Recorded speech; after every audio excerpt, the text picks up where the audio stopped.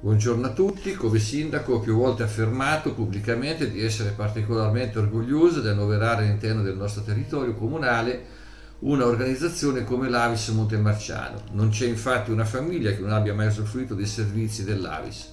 Il Covid purtroppo continua ad essere un grosso rischio per tutti e proprio per questo è partita questa lodevole iniziativa che porterà all'acquisto di una nuova ambulanza speciale che garantirà una maggiore sicurezza ai pazienti volontari che la utilizzeranno grazie ad un nuovo sistema di aerazione.